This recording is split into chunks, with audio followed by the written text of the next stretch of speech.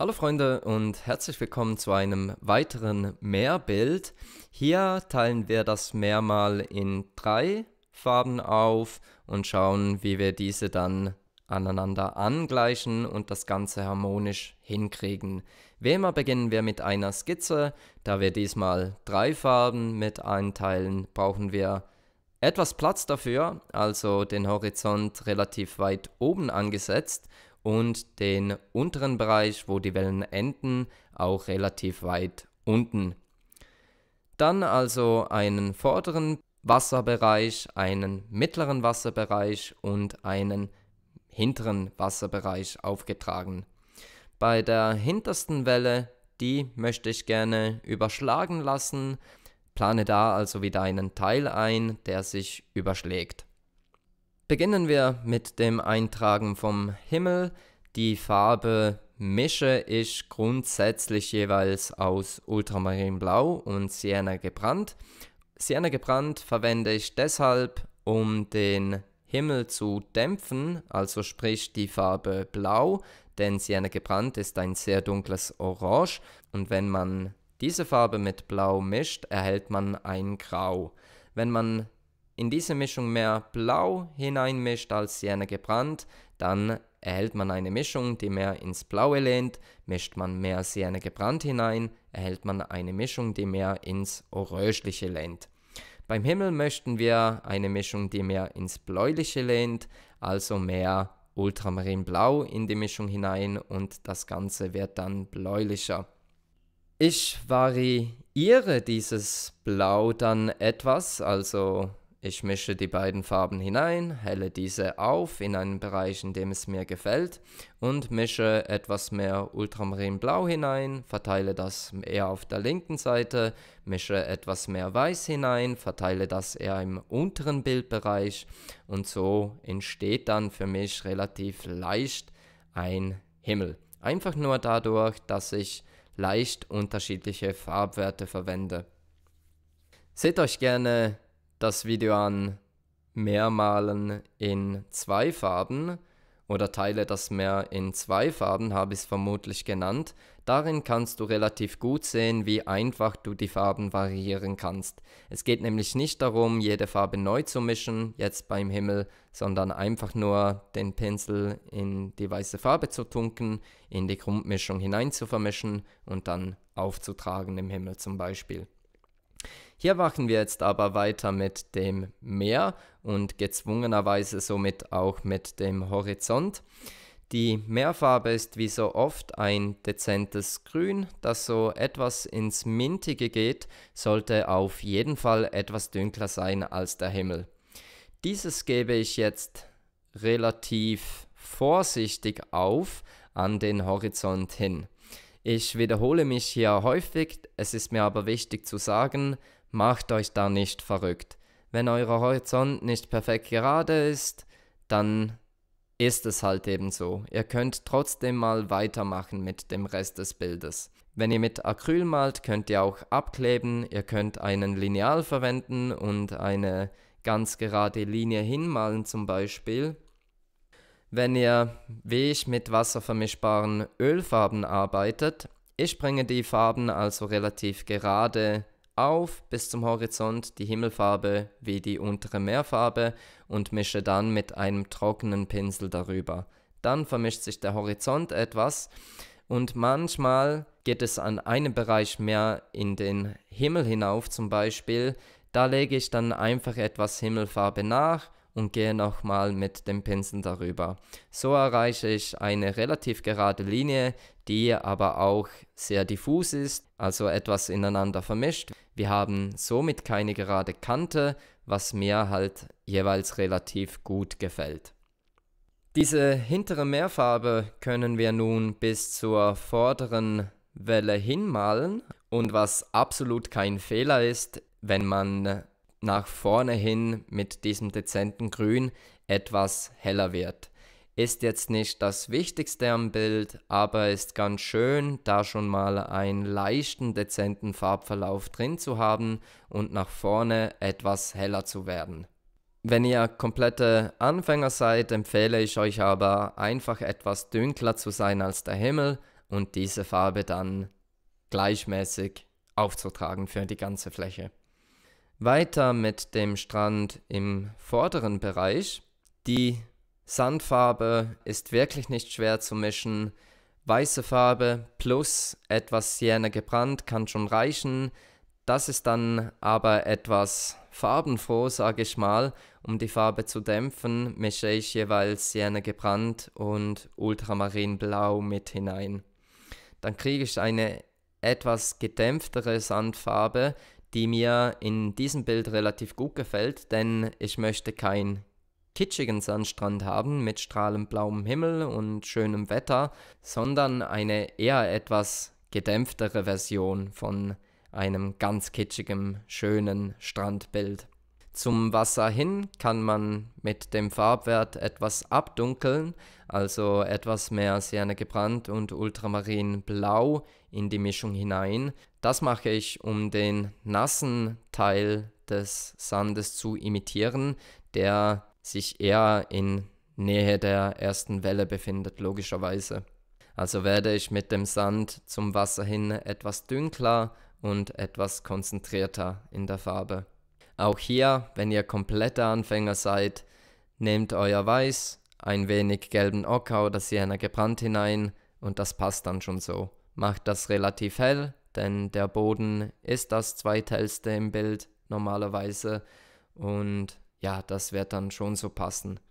Für den mittleren Bereich, also wir haben den hinteren Teil des Meeres, der mittlere Bereich und den vorderen Bereich. Im mittleren Bereich möchte ich, wie schon angesprochen, eine Welle haben, die sich überschlägt.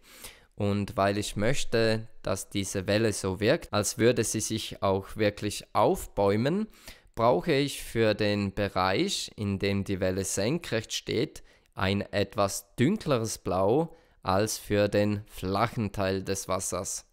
Ich habe hier also erst mit dem dünkleren Teil begonnen. Dieses Blau habe ich gemischt aus Ultramarinblau, Sienna gebrannt und etwas Gelb. Dieses dann aufgehellt in zwei Farbwerte. Also einen dünkleren Bereich, wo die Welle steht, und einen helleren Bereich, den ich jetzt nun ins vordere flache Wasser auftrage. Dieses trage ich nun bis zur nächsten Begrenzung im vorderen Bereich. Da kommt nochmals eine Welle hin, die den vorderen Abschnitt des Meeres zum mittleren Abschnitt begrenzt. Den weißen Teil, den lasse ich jeweils frei. Das macht nicht wirklich Sinn, ähm, mit wasservermischbaren Ölfarben über diese dunkle Farbe mit Weiß darüber zu malen.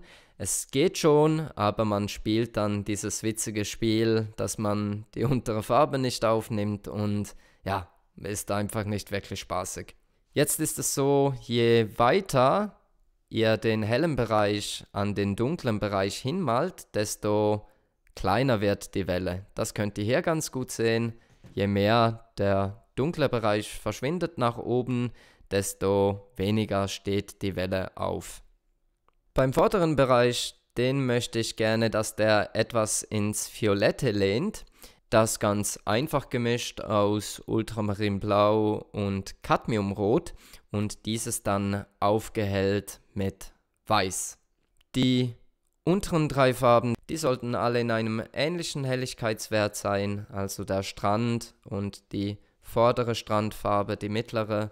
Und dieses trage ich nun auch ganz einfach auf und variiere direkt ein wenig mit Helligkeiten. Diese Welle im schon vorderen Bereich, da wird es ja relativ flach schon sein und da möchten wir nicht, dass sich die Welle so hoch aufbäumt. Außerdem wäre da auch die Gefahr, dass wir den hinteren Teil nur wiederholen und einfache Wiederholungen, die kommen nicht immer so gut an in Landschaftsbildern. Wenn wir die einzelnen Bereiche nun aufgetragen haben, dann geht es weiter mit dem Weiß. Weiß ist aber jetzt nicht wörtlich zu nehmen, es ist der hellste Teil vom Bild, ja, aber kein pures Weiß. Also beginnen tue ich erstmal mit einer sehr gedämpften Version von Weiß, also einfach etwas Ultramarinblau und Sienna gebrannt hinein, wirklich nur ganz wenig, um das Weiß einfach etwas zu dämpfen.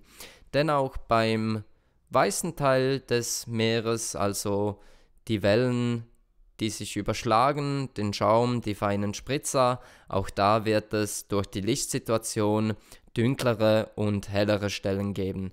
Wenn wir jetzt mit purem Weiß arbeiten, dann ist einfach alles nur hell. Das möchten wir erstmal nicht.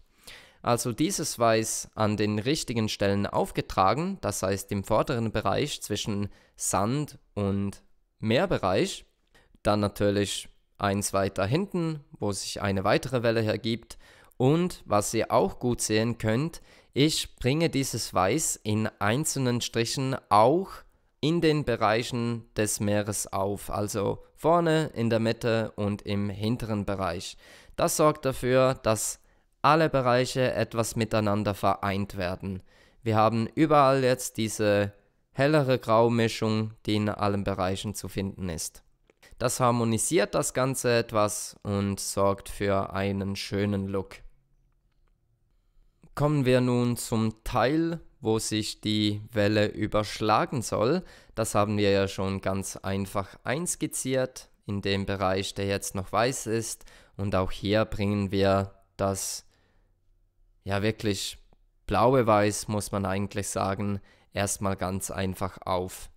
Das ist meist oben die ganze Welle und halt der Teil, der sich überschlägt, sind meistens einfach nur zwei Diagonalen, die in die Mitte hineingehen und unten nochmal eine gerade Linie. Ein Trapez, das auf dem Kopf steht quasi. An dieser Stelle kann man nun konzentrierteres Weiß auf dem hinteren Bereich anbringen um die Wellen etwas mehr zu modellieren und aufzuhellen und dann die hellsten Punkte im Bild zu haben. Ich habe allerdings noch etwas am Meer gearbeitet und alles noch dezenter gemacht, weil ich wirklich nicht sonnig schönes Wetter haben will. Das ist für die meisten aber wahrscheinlich nichts, also macht an diesem Punkt, an dem ihr seid, einfach weiter wie ich jetzt und bringt hellere Teile im hinteren Wellenbereich auf. Ich habe schon oft gesagt, dabei kann man ewig verweilen. Das macht mir relativ viel Spaß jeweils, da Wellen einzutragen, auch den Pinsel nochmal zu wechseln auf einem Borstenpinsel für einzelne Striche.